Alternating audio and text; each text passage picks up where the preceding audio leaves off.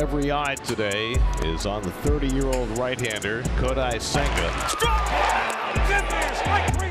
Swing and a miss. He got him with a forkball. Retired 13 in a row. Swing and a miss, strike three. What an effort from Kodai Senga. The most unique forkball in the game. Ghost, Ghost, Ghost, Ghost fork as good as advertised. Terrific start for the Mets rookie right-hander. Front on and missed. 200 strikeouts in his magnificent rookie season for Kodai Senga.